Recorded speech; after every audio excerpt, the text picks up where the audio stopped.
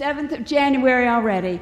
I'm Reverend Dr. Marta Burke. Those that are tuning in, watching for the first time, or those that we have visitors here, we have as well as for our Heaven's Sake praise team. And yes, Reverend. Uh, Kathy and Reverend Diane Gutierrez this morning. I first want to ask Does everybody have a bell? Okay, if you haven't gotten a bell, I hope you get one. Yes, it's not, we're going to ring in the new year, but it's, it's a symbol and a sign as throughout our church or Christian history that bells were rung to gather people to worship, as well as those special moments in the life of the community and in the world. And so we, again, are going to embrace a tradition of ringing in the new year with one another, but coming to worship as we begin this new year, the first Sunday. Also, you will be coming up for communion today. And when you do, we have the baptismal font. And uh, Reverend Gutierrez will be there and give you a shell, another symbol of baptism. But you will remember your baptism and be placed the water on your forehead or on your hand, whatever you prefer. But it's again the traditions and the rituals, but also the meaning of worship and those symbols that we begin this new year with. Do we have any first time visitors? Come on, we maybe have one or two. Okay, we've got a job for us. We bring friends, family, strangers so that they can know the love of Christ and worship together. We ask you fill out the connect cards, please, please, please, because we found that so much of our information uh, phone numbers are changed. Those that are watching, please go and let us know too on the website, and you can uh, text us, email us, so we can make sure. And then, of course, the Connect cards, fill those out and place those in. You can give us the updated information during uh, the offering as well as as you go out today. All right.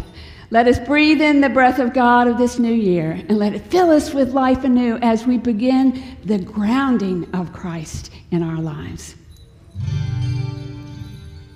Good morning and happy new year to everyone. Welcome, welcome to worship, our first of the year. Let's stay together, shall we? My name is Steve. I believe in Jesus Christ. He's my personal Savior. I know Him well, and He knows me like no one else. I follow Him. I listen to His voice. I try to be a part of His plan for this world. He's alive. He's reigning. He's working. He's making a difference in this world. And it all starts in worship. So this morning we're just going to praise and lift up his beautiful name, his wonderful, powerful, powerful name, the beautiful name of Jesus Christ. Let's do that.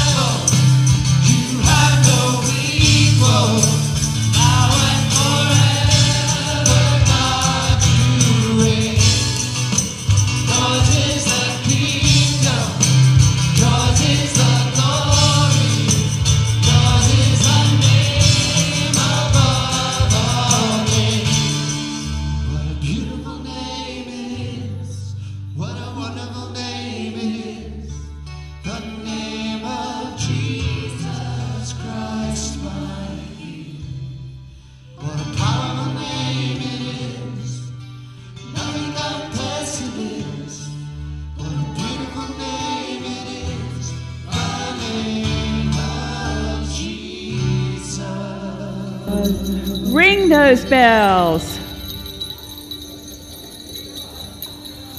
Ring those bells, but don't get comfortable because it's time to greet our neighbors with the peace and the love of Christ in this new year.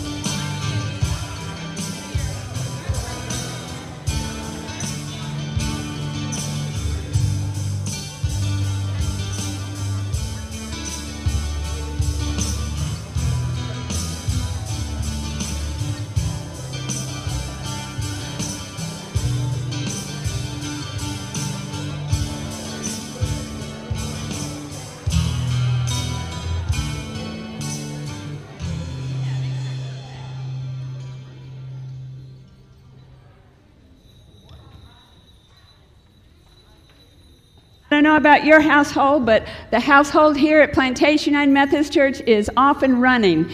And we begin this, uh, this new year with Grounded, a new sermon series.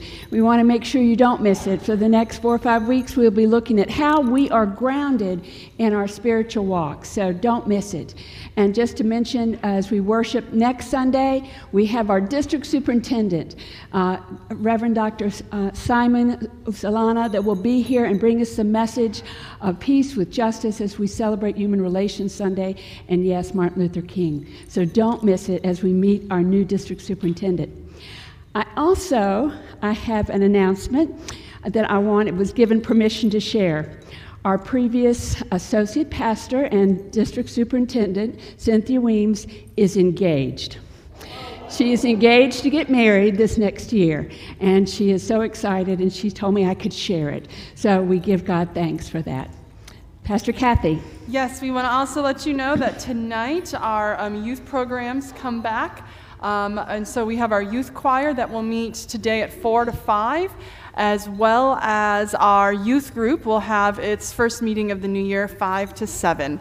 And so, uh, with our new youth director, Miss uh, Latina Lightborn Newsom, leading. So, all youth are invited and encouraged to come tonight to one or both of those events um, so that we can um, reconnect. Youth is sixth grade all the way up through 12th grade. Finally, we are starting a men's Bible, I shouldn't say starting, restarting our men's Bible study. Uh, this time it's called Delta Force, and this time it's going to meet on Monday nights um, right here. I think it's at the church. It right? is. At it the is. church at 7 o'clock. Um, Steve Blessed uh, is going to be leading it. So all the men are invited. If you are looking for connection and Bible study and growing with other men, please consider doing that. If you'd like more information, reach out to Marta and I, and we can connect you with Steve Blessed with that information. All right, it's time for the children's moment, but this time I'm going to invite the kids to give their bells to their parents. So, and their parents will bring your, you will get your Let's bell at the end of the, the service. bells. I Let's ring it promise. as they come up. What? Let's ring them as they come up, as they give their bells to their parents. Okay, sounds good. Sounds good.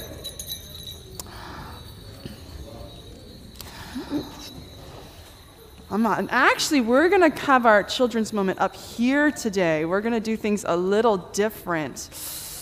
All right? We can actually sit right here for now. All right. Good morning, guys. How are you? I'm going to sit down right next to you here. All right. Can you look at me for a minute? All right. Well, maybe I'll stand up. Okay. Hi. How are you guys? Come on up. Okay. Well, good morning, boys and girls. How are you? You have an offering, Savvy? Here you go. Happy New Year. Happy New Year. You excited for school tomorrow? No, you're not. Well, that's all right. So, today, when you guys are in Sunday school, all the big kids out here are going to do something that we don't do that often, and that is we are going to remember our baptisms.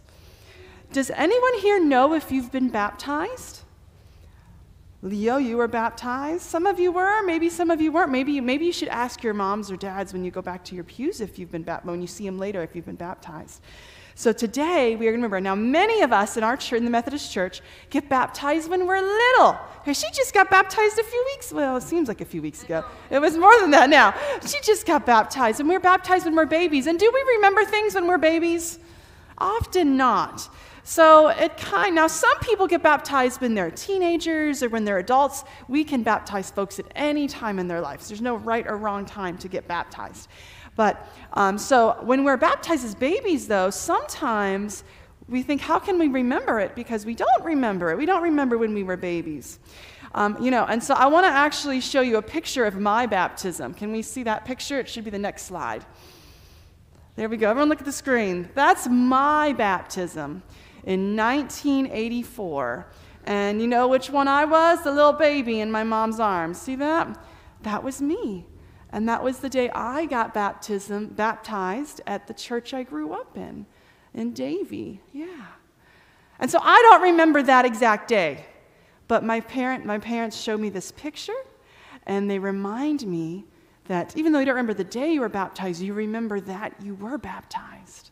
And that's what's important, remembering that we're baptized. Because when we're baptized, when we're baptized, God, it shows that God loves us.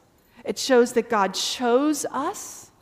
And it shows that even before we could make a decision to follow Jesus, that we are Jesus' children. That's what baptism, God's children, that's what baptism is all about. So I'm going to read you a story today. You guys want to listen? It's from the Bible, it's really short. It's about the day Jesus got baptized. Did you know Jesus was baptized?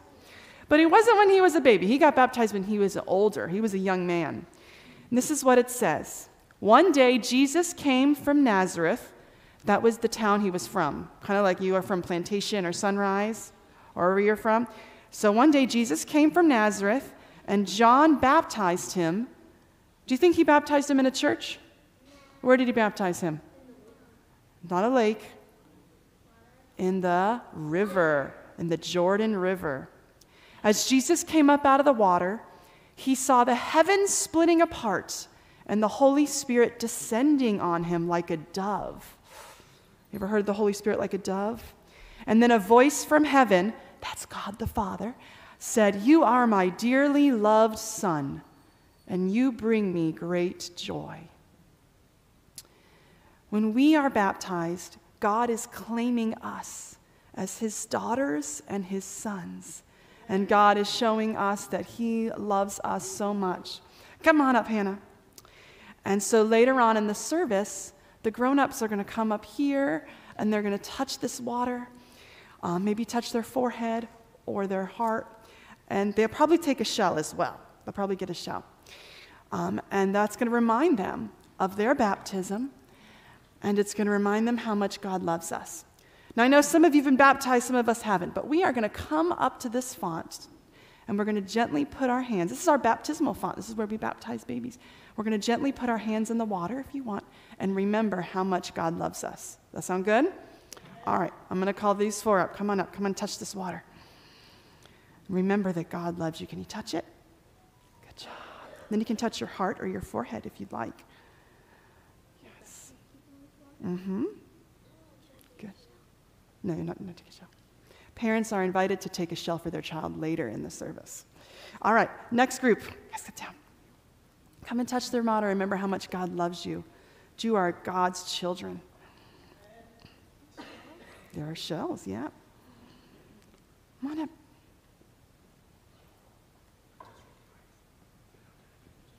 Yeah. Remember that God loves you. That water reminds us that God has claimed us. All right. You ready to pray? All right. Oh, come on up, sweetie. Who, who wants to come up? Avi, you want to come up? You want to come and touch it? You don't have to if you don't want to. Want to stay there? That's fine. Want to touch it, Jadine?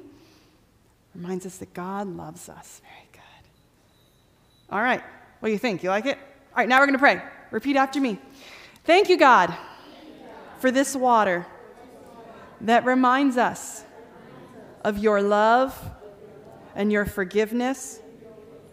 Even before we knew you, you chose us.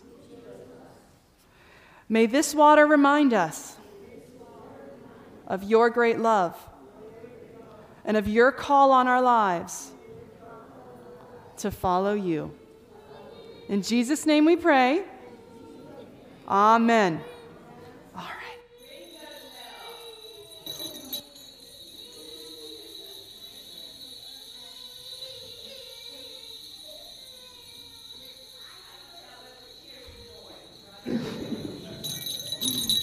There, there's Daddy. It's time for Sunday school. All right. Hey, sweetie. Happy New Year. All right.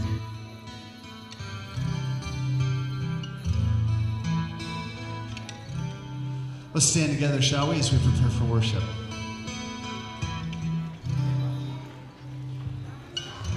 Our Lord Jesus Christ is, is powerful, He's real, He's relevant, He's alive and working in this world today. It's known that He is the author of creation, and all things were created through Him. But the most powerful thing that He has done, the most incredible thing, is to take away the sins of the world by sacrificing his life. We have to remember that as we go into this new year, into this new world, into this new time, that we go fresh, that God has forgiven us. He's forgiven us our sins and put them away. The Bible says that our sins are as far away from us as the east is from the west. So this morning we're going to celebrate and worship as we realize that our sins and our shortcomings are gone.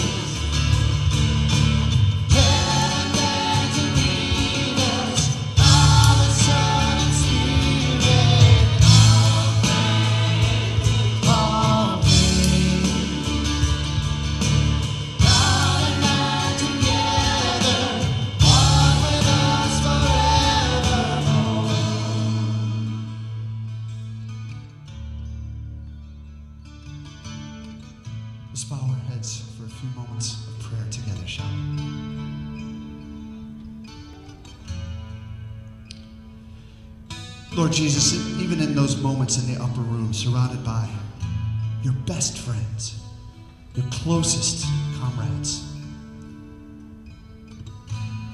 you wanted to be near them. You wanted them to know your heart, to know who you were. And even though the message you were trying to tell them was just lost on their lost hearts, you never stopped trying to connect and to draw them in draw them closer. And so on this day, we celebrate that same moment when you set the table and drew them in and invited them to your inner circle, opened your heart, and began, in, even in those moments, to pour out your life. So, Father, when we remember the incredible sacrifice, the incredible gift that Jesus Christ brings to this broken world, we know that we can be healed and, and made whole. So our hearts do not need to be heavy. We do not need to bow with worry and regret. Father, you are there in, ever mo- in every moment in our lives, restoring, encouraging, and building us up, all to the worship and service of your Son, whom we praise this morning.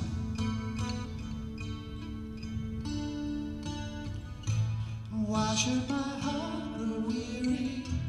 Don't be so downcast, oh my soul. You are in every moment. You are my greatest miracle. Why should my heart grow weary? Don't be so downcast, oh my soul. You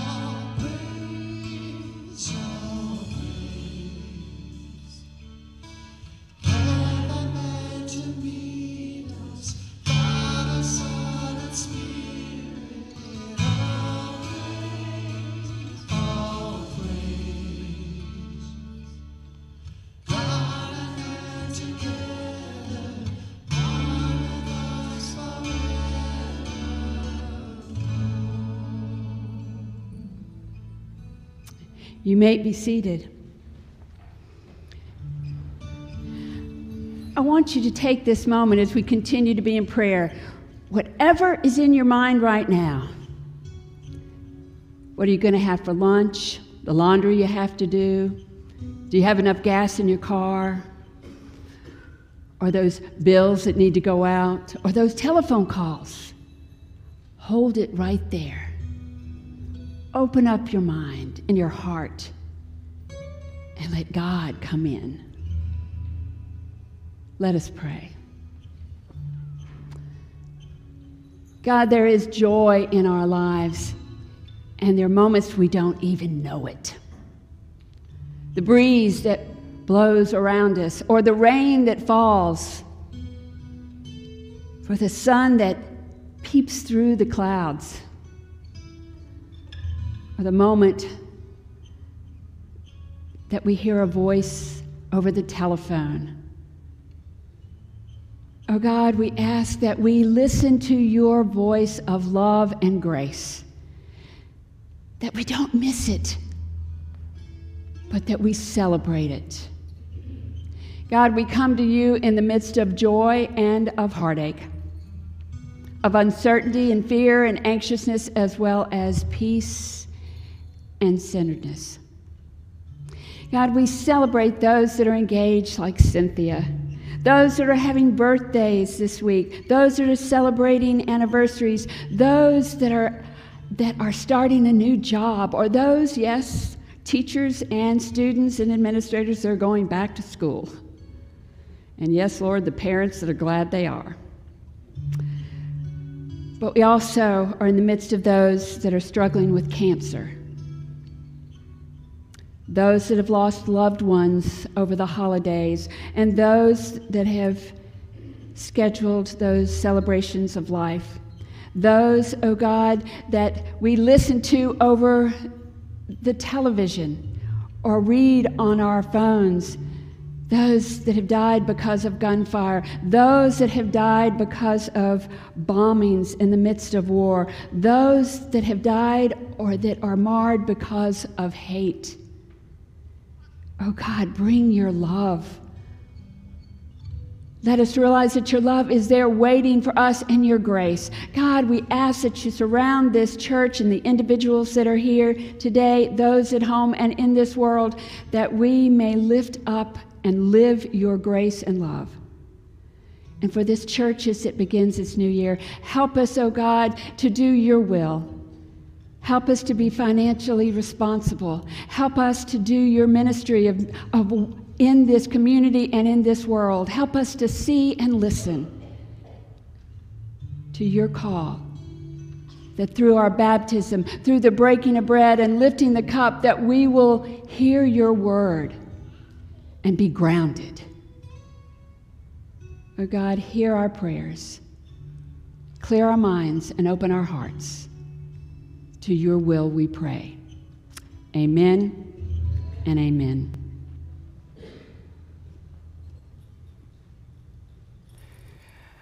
As our ushers prepare to enter the room, I invite you to ring your bell as we continue our worship. You're invited to put your Connect cards in the offering plate, as well as your gifts of um, your tithes and offerings. You're also, if you haven't been able to turn in a commitment card for 2024, you can turn that in any time in the offering plate, or you can mail it or drop it by the church office so that we can um, plan and prepare um, for this year um, as a church family. Let's pray together. God, we are thankful for the opportunity for a fresh start, for a new year. And we are here because we want to start this year focused on our faith, growing in our faith, connected to you. And so we offer these gifts that we are about to give, these gifts that we might give online. We pray that you would multiply them and use them for your glory guide those who make decisions in leadership in our church regarding all of our church's finances. And I pray that you will be glorified and your love will be made known within us, but more importantly, within this community, so that they might know you. In the name of Christ, we pray. Amen.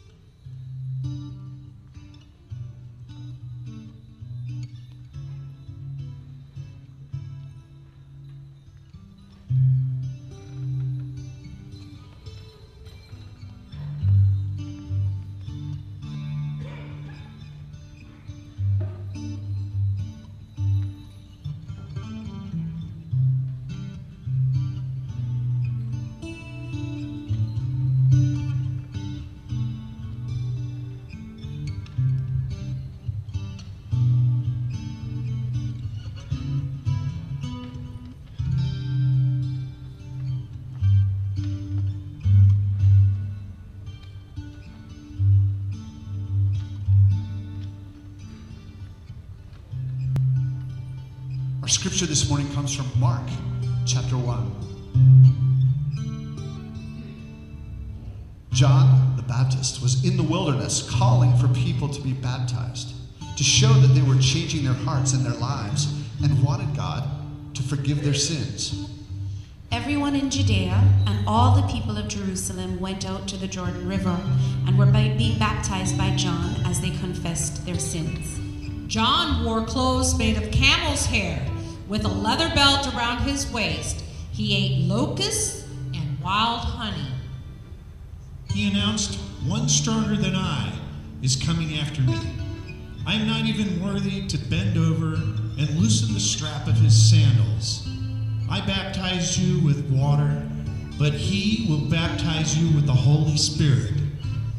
About that time, Jesus came from Nazareth of Galilee, and John baptized him in the Jordan River.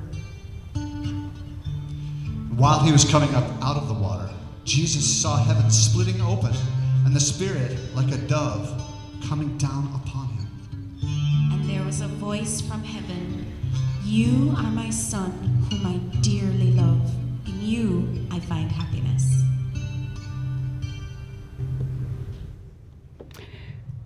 Grounded. When I first began to think about what it meant to me, it was a memory. It was a memory of my parents' voice that said, Girl, you are grounded for coming in late on Friday or Saturday night. I thought about that. And then the second image or memory for me was when that lightning storm came and hit close to our house, and I thought to myself, oh God, I hope we're grounded and we won't catch fire. But then I look at the oak trees that are in our city here, our home here at Plantation, and I look at the roots and the trees that cover and shadow, and yes, even the, the roads that we travel down. Those big trees with those roots that are grounded deep. I wonder how grounded they are. And then I ask uh, myself, and I ask you today how are we grounded in our faith, our spiritual journey? How are we holding deep, diving deep with the roots of our spiritual walk? And that's what we will be talking about and, and struggling with and questioning and celebrating as we look over the next four or five weeks on Sunday mornings. That we will look at those elements of our lives that where we are grounded. And today we look at the grounding of our baptism. Yes. I know that the past four or five weeks we have been surrounded with the Christmas story. I bet you all could tell it just with and the shepherds came and the angel said and the and the wise men and and they went to Bethlehem and couldn't find a place to live. Yes, we know those scriptures and and we know that in the gospels that they're filled with those collectively. It isn't till later in most of them and all three of them that that we hear about Jesus' childhood. But Mark's gospel has nothing about the Christmas story. But I'm here to prove that wrong today. Mark is off and running in his gospel lesson. He begins with Jesus' baptism. Jesus is a grown man when he first introduces in the first chapter. He is being baptized by his cousin, John the Baptizer, is what we call him, John the Baptist. Mark's gospel is bringing that moment. Yes, I call it that God came into the world through Jesus, through his baptism, claiming him being the Savior, his beloved. That is even not in Bethlehem in a manger, but in the river of Jordan, where the gospel says, God has given us his son, the Savior of the world. It may have not been a baby, but it was a grown man being baptized. So, do you see? It is a Christmas story, but it is a story of you and I and the promise that we are God's beloved children. The passage that I, I see that speaks to me again and again You are my beloved Son, and in whom I am well pleased. When he was in the water and being down in the water, he heard the voice of God speaking to him, speaking to him clear as day. I wish I could have been a, a, fish in the water to see that and, and to experience that, that those that were there. It was that moment, that declaration, just as as Jesus was born in the manger, he became the Savior of the world as he was in the water. I like Mark, even though he doesn't eh, tell the traditional Christmas story. But it's a new way for us to say, God is ever present in so many different ways.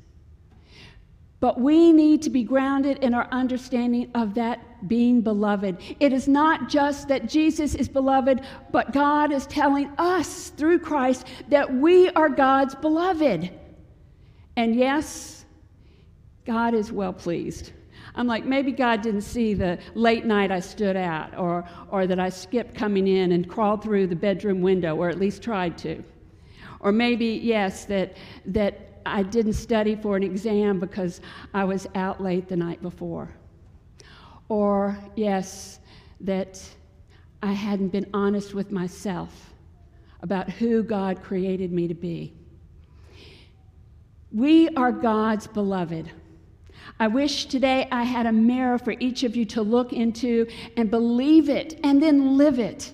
Because it is through our baptism, as Jesus' baptisms, that God calls us through Christ to be his beloved, God's beloved. Now, that's great for Jesus, right?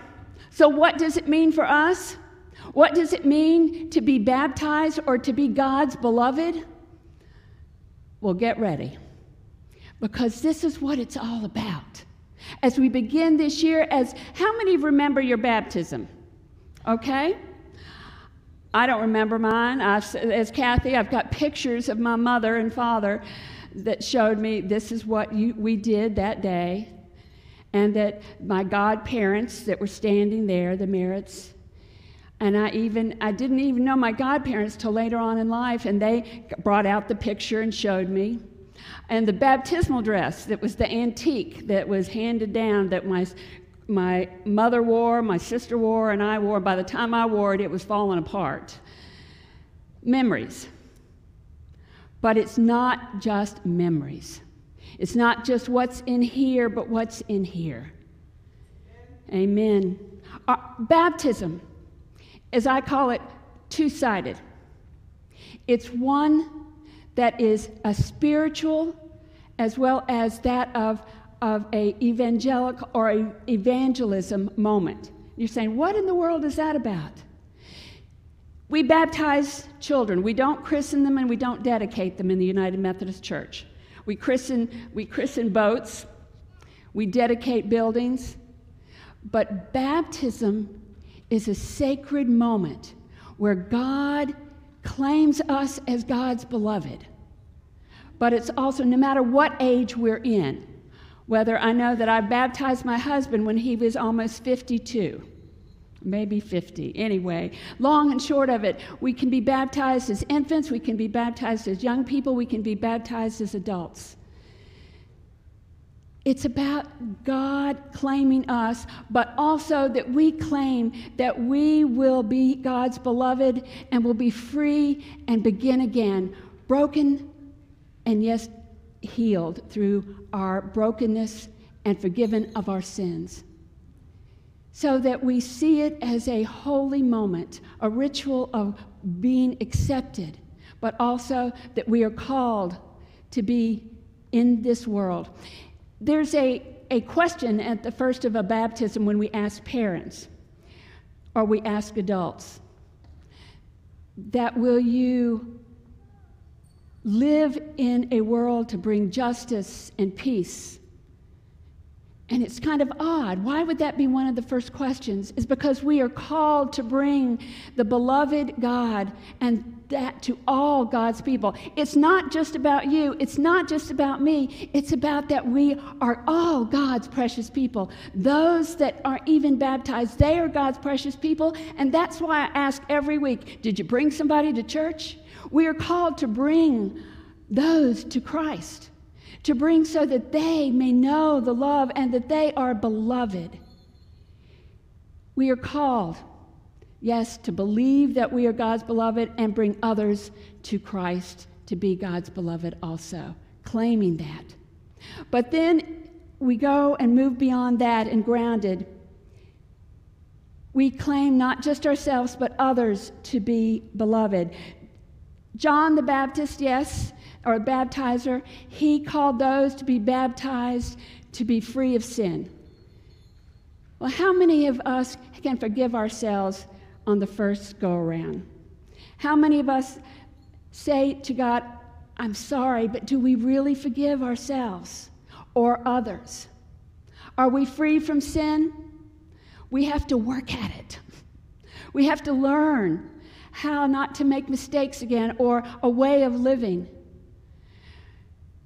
One of my dear friends in Miami, Cleveland Bell, was a severe alcoholic for many, many years. And he worked day in and day out. And as he became clean, as he became a spokesperson for the homeless and a spokesperson for Salvation Army, and was free of the alcohol, not of the addiction, because it was still with him. But he said, It is in every moment I decide not to take a drink. And some days, it's in every breath that I take. But I am reminded, he says, that I am God's beloved. It is a journey that we need to repent and, yes, know that our baptism is a way that we can touchstone that and be reminded. We believe in the United Methodist Church that once you're baptized, you don't have to do it again. But then you have to live it out that God gets it right the first time. We are God's beloved. And that, yes, we can remember as we will today our baptism that will be before us. We then need to know that our baptism is something that is not just for us, but for the whole world. I know that I think about my neighborhood and my neighbors. I've invited some of them to church, and they said, We just can't get up that early. I said, It's okay, you can watch us on television. But I know that as my neighbors had a party that went till 2 in the morning, I had to say, Okay, God, I love them. As I held my dog through the firecrackers that went off until 2 in the morning on New Year's Eve, I held him and said, I love my neighbors. There are those moments we are to love God's world. Our baptism is in ground and grounding in us that we are to be God's light in this darkness. We, we talked about it all last uh, during Advent, but now we have to live it. That God's baptism, a beloved, is for all God's people, for you and for me, and yes, that person that's walking down the street that is homeless the person that is on TV that has a different political view than I do. They are God's beloved. But it's not easy. We have to be grounded in that understanding of our baptism that God is with us and God has called us, and then we must live out that grounding of our baptism in the world. We do it collectively we have baptisms we believe that we need to have in, in a worship service. Now, I've done baptisms in the river, I've done them in my backyard in, in the pool, where we've had a small group of folks, but I've invited them to say, bring your family and friends, because this is a witness and a testimony of your life and of your spiritual walk and to know that we also make a covenant as a church, as a family of God, to support that individual and to be there with them. You say that every time we have a baptism. So, do you believe it? Are you grounded in it? Are you sh- supporting one another? Are you loving or, or caring for one another like we should? Now, it's not just in, as my mother made casseroles and brought upper rooms to folks that were sick. That, that was important back then. But maybe it's just being a listening ear. Maybe it's the ministry we have with our Stephen ministers, folks that are active listeners, or those that you take them to the doctor so that they, when they get the news, good or bad, that they can share it with someone. Maybe it's just texting to say, I've missed you. I hope you're okay. That's where it begins, but it doesn't end there. We are called, you and I are called to serve God, to be grounded in our baptism, and that we will then begin to live it out in this world. We have two baptisms, maybe three scheduled in the next few months one in February, one in March, of infants, of children. But it's those parents, those grandparents, those godparents, it's you and I that are making that covenant, grounding ourselves that we will care for them and bring them up into this world, knowing God's love. I want you to do something for me today. No, not for me, it's for you. I want you to write that scripture down on your bulletin, put it on your phone, write it on your hand. I don't care. But say, Yes, I am God's beloved and he is well pleased with me. Think about it. When you look in the mirror, when you open your eyes tomorrow morning, you are God's beloved. Yes, our Christianity is a matter of believing it. Our Christianity is a, is a matter of living it out. Our Christianity and our spiritual walk, not just in this new year, but every year that God calls us to be grounded, to deepen our roots, to stretch them out in places that we would never even imagine. God's calling us to be the church and the individuals, the beloved of God, in a new way right now. Yes, we may have to let go of things of the past and be ready for what God holds for the future. It's scary, it's exciting,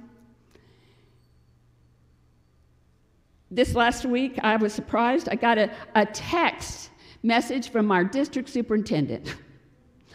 I was the first time I've gotten a text message that wasn't personal from a district superintendent. It was talking about the business of the church. And he said, I asked you to pray because I know that you will. As well as Charlene, uh, um, excuse me, not Charlene, but, but Cynthia, she called and said, I've got great news. I'm engaged. I celebrated with her as I've known her as a teenager and a pastor and a friend.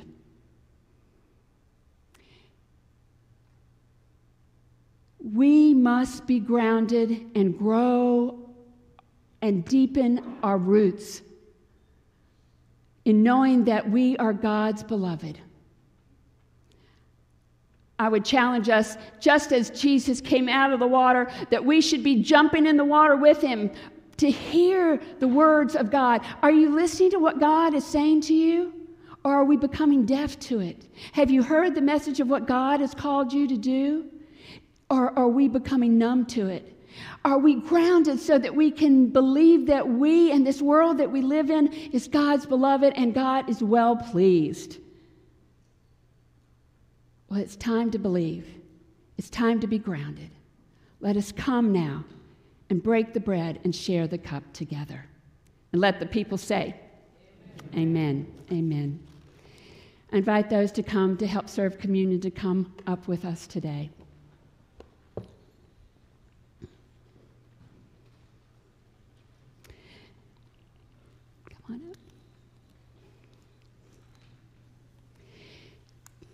Jesus gathered with his beloved, those friends, those disciples, and with God, and said, This is my body, after he gave thanks, that will be broken for you because you are my beloved.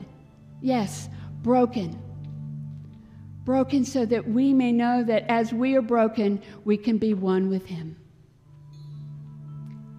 He said, Take and eat. This is my body broken for you. Do this in remembrance of him.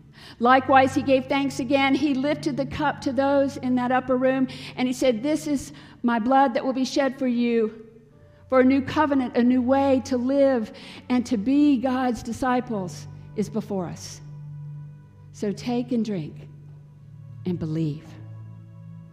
So now we come and receive. The ushers will show you as, you, as, they come down the aisle. We have our special offering today, which is for our Samaritan fund, our fund that helps those individuals in our, in our church family that are struggling financially. But also, we invite you to receive the blessing of the water, the baptism, remembering it, and be grounded, for you are God's beloved. Let us come and receive.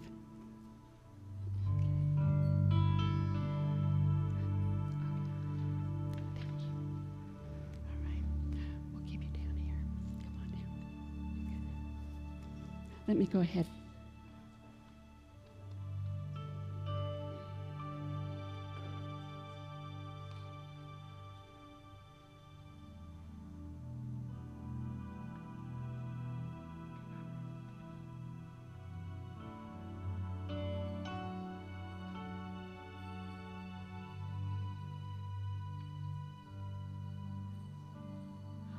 Feast and remember your baptism.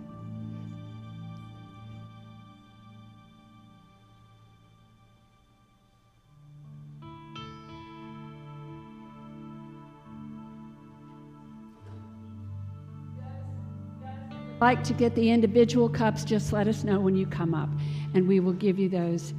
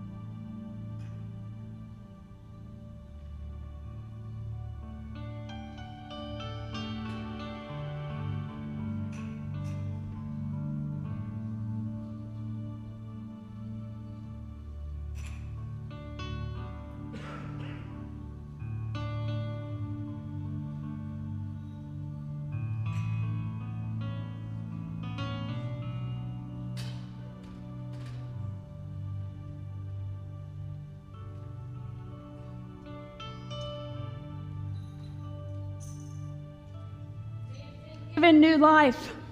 We are grounded. We are grounded as we remember and now live out our baptism. Let us stand and praise God as we worship not just here in our pews, but in the world, giving God thanks for all that God has given us.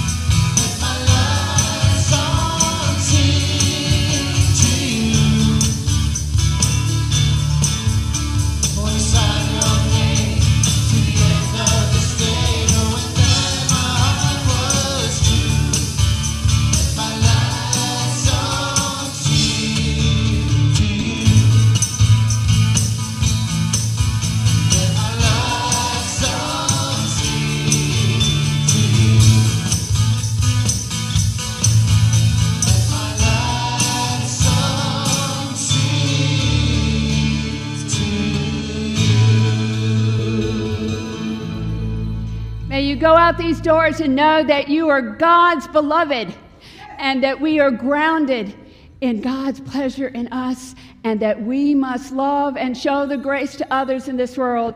Remember your baptism and ring those bells so the world may hear of God's love. Amen.